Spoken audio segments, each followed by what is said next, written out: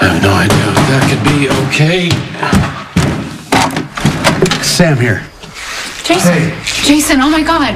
What happened? Are you okay? I'm fine, I'm fine. Are you I'm fine, okay? I'm fine, I promise, I'm fine. I'm better than I have been for a very long time.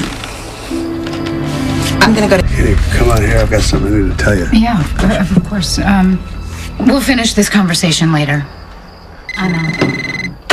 What do you- what do you mean you're better than you've been in a long time? You're hurt. You're, you're, I, you're I, I was in an accident and I, I hit my head.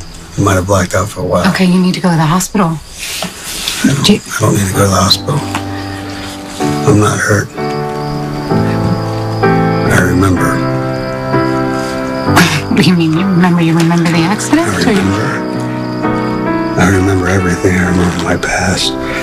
I remember my life. I remember you. All of it. I remember.